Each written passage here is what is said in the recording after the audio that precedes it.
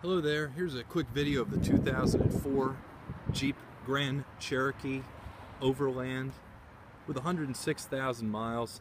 Uh, a good set of Pirelli tires on this vehicle. It does have the V8 engine. Um, as you can see, a lot of space in the back. It does have a full leather interior, two-tone as part of that Overland package does have a factory uh, sunroof as well. All steering wheel controls, AM, FM, CD, and cassette. Four-wheel drive, all power equipment.